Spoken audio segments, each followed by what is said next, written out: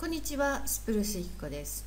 本日はですね、英語のとはということでお話ししたいと思います。英語のってよく聞くんですけれども、これはあの昔にはなかった言葉ですよね。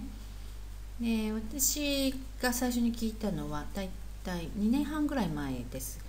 えービジネスマンの方、日本から、えーいらっしゃいまして、1週間、ここであの英語のまプチ留学っていうことで英語の勉強をしていただいたんですけれどもその時にお話ししてその私はですねあの英語をしゃべる時は英語で考えています。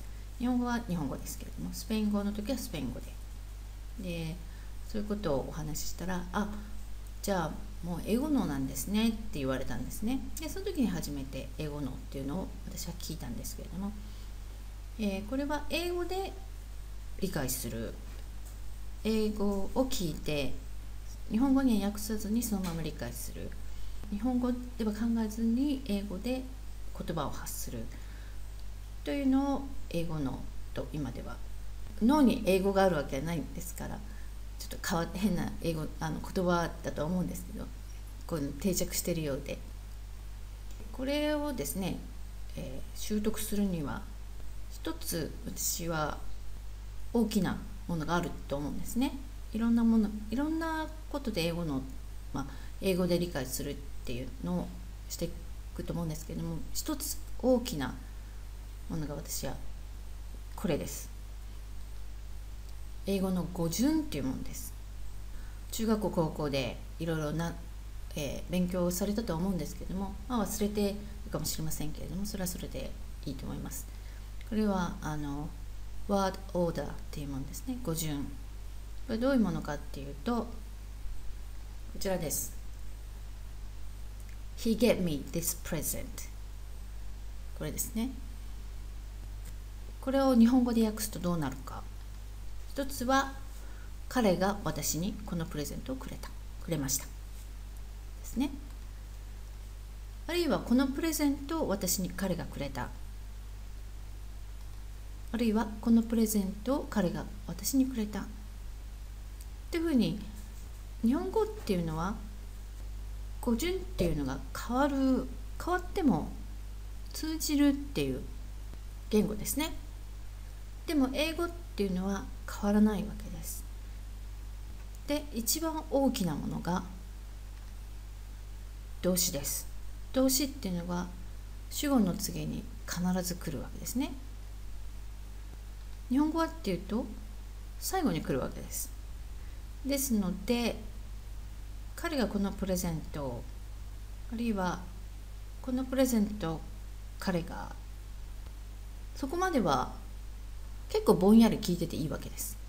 で最後に「くれた」っていうのであもらったんだなっていうふうに思うわけですね。でも英語って最初です。He gave me. Give. Gave.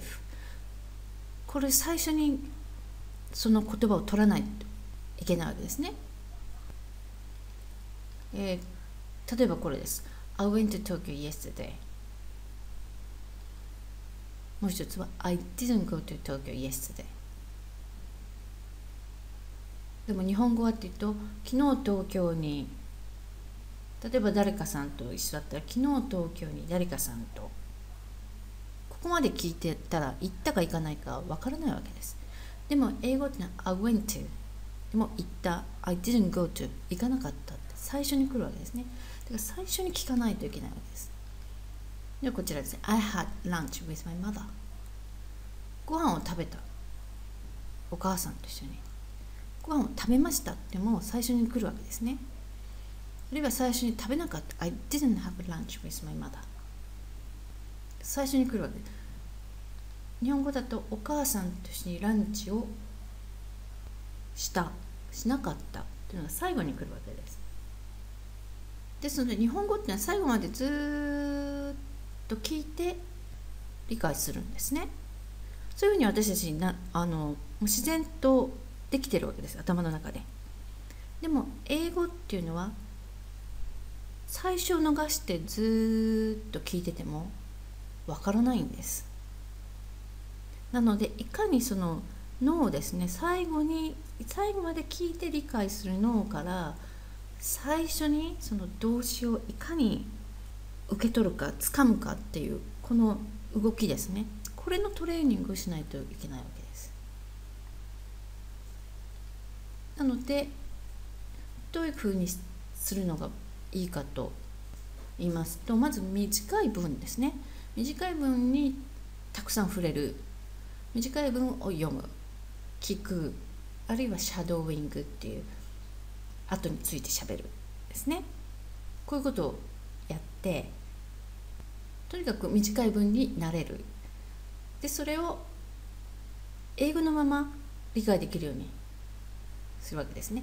なので短い文で簡単な文でっていうことになりますと前回もご紹介したその英語で説明された初級の自分で勉強する文法書ですね。こういうのですとあの難しい単語難しい、えー、文法っていうのはあんまりないので英語をそのまま理解するってことが可能になってきます。あるいはですね童話ですね。小さいお子さん用の童話。これを利用する。今でしたらそのオーディオブックなんてもありますし童話でしたらそんな難しい単語や難しい長い長文なんていうのはそんな出てきませんのでこういうので英語で理解をするってことを練習する。童話では物足りなければ今度は小学校低学年の方向けの本ですね、まあ、6歳7歳。それぐらいのお子さんの本を利用する。そして英語のまま理解ができるように最初はあのとても脳が疲れます。あの私たちは日本語の場合は最後まで聞いて理解するっていうふうに習ってなのであまり最初に注意を払わずに最後に注意を払うように脳がそのふうにもなってるわけですね。でもそれを英語の時はそれを最初に持ってこなきゃいけないのでそれを訓練してる時っていうのはあの本当に脳が疲れると思いますけれどもこれも、えー、英語っていうのは、えー、覚えるっていう暗記すればいいっていうものではなくてトレーニングですね、えー、一番最初の動画でお話ししてると思いますけれども、えー、野球だったり自転車だったり水泳だったり毎日毎日少し少し少し練習して習得していくものですのでこの英語のですねその英語で英語で理解をするっていうその脳の練習しないと使使ってあげないといけないんですね脳をね。ですので最初は疲れると思いますけどそれをだんあの毎日毎日少しでもいいですから続けていくとあの脳も疲れなくなりますしその英語で理解できるようになります短い文だったのが少しずつ伸ばしていけば長くしていけばいいわけですね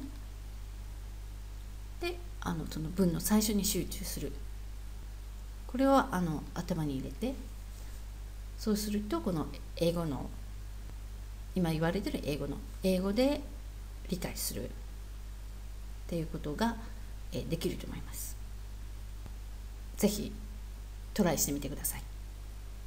何か質問等ございましたら下のコメント欄にご記入ください。それでは今日は以上になります。最後までご覧いただきましてありがとうございます。